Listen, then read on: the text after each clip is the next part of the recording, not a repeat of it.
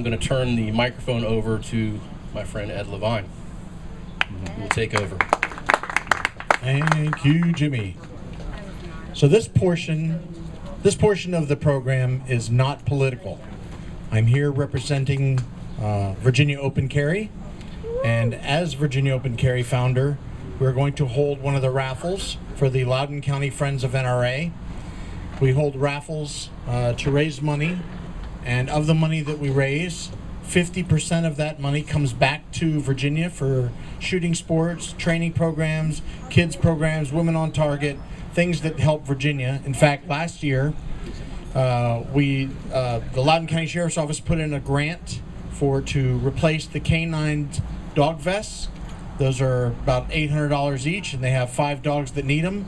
And the dogs protected and trained are worth about $35,000. So we figured that was an asset worth protecting. So that's why we uh, worked hard to raise money in Loudoun, not only to uh, help the local community, but help the entire state with gun rights. So you can buy our tickets at Virginia Gun Rights, or VirginiaGunRaffle.com. You can buy a ticket.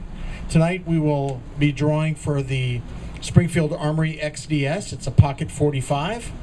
And we sold all the tickets. I think there's 100 tickets in here.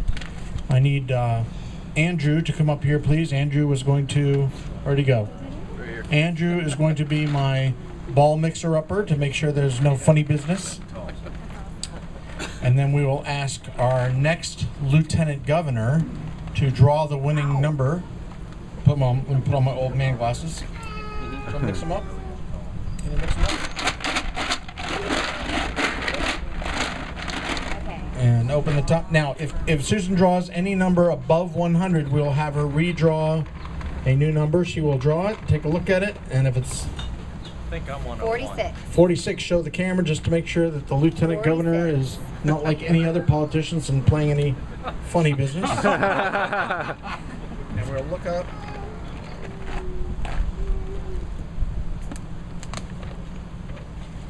Someone can look over my shoulder to make sure.